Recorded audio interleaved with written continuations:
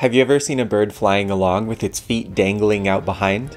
Those feet don't seem very useful, do they? They just seem like a way for the bird to stop and land if it needs to, but other than that, they don't do very much. But there are a few different ways that birds have specialized their feet for different uses. Let's take a look.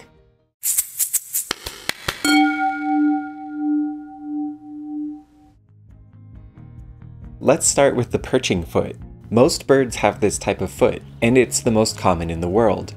The perching foot has three toes forward, one toe back. It's small, it's light, it's just strong enough for the bird to hang onto a branch, but not much more than that. You can find perching feet on chickens, songbirds, turkeys, all kinds of different birds.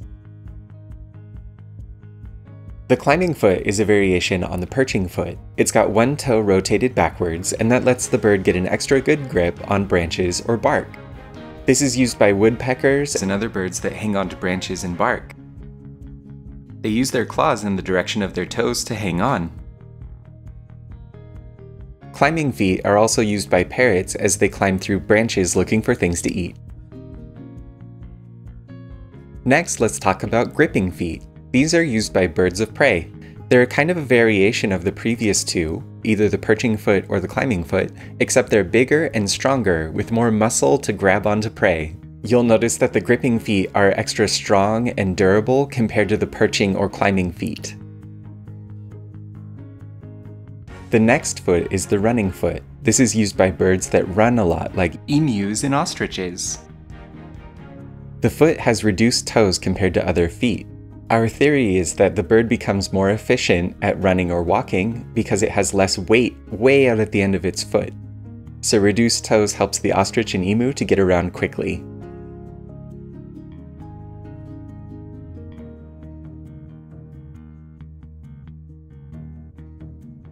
Some bird feet are specialized for swimming. There's a few different ways to do this.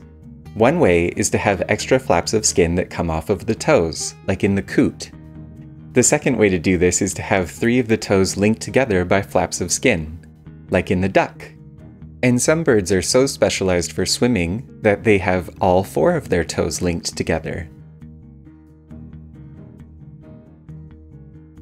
And because we're talking about living things, there's always a few exceptions. An example of this is the jacana, which has extremely long toes that it uses for wading, but that's actually a perching foot, Another example is the Roadrunner.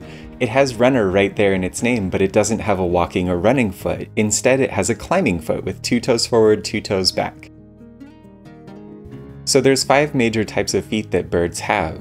Now that you've seen all five, let's see if you can identify them yourself. What type of foot do you think the sparrow has? The sparrow has a perching foot with three toes forward, one toe back, and its foot is small and light. And what type of foot does a penguin have?